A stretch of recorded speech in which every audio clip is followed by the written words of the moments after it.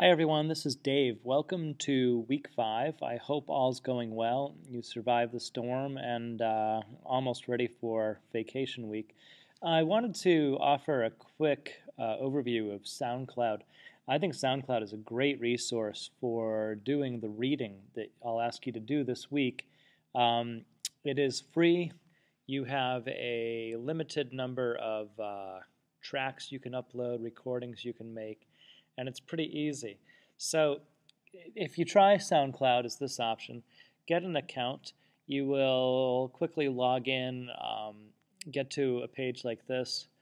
You can now either record using your own computer or you can upload. So you could do a reading of your piece of your multi-genre on your phone and upload it. I believe there's also a SoundCloud app for iPod or Android, so check out those as well.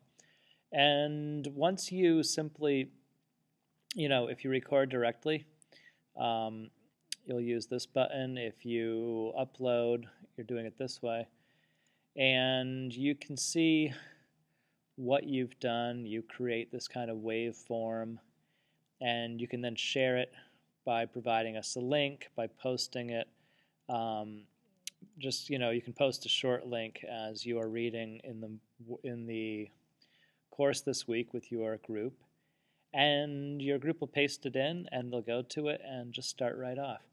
I've also offered um, for those of you uh, who heard this in my last video a link to a NCTE an English journal article. When I stopped writing on their papers I, I find this great. I mentioned this really briefly last week, um, but it's about a teacher uh, who started creating MP3s and responding to her students' work rather than writing to them. I did this for a while. I found this hugely successful, and you might explore it as well.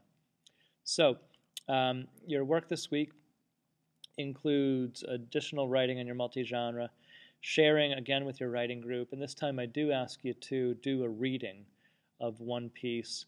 I would limit it to five minutes. Um, you know, maybe go up to seven minutes, but not too much longer than that. It gets hard to sit and listen, as you all know.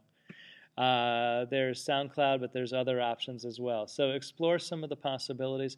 If you come up with something new, do me a favor and uh, post it in the questions about assignments, not as a question, but just a simple, hey, here's what I found. All right?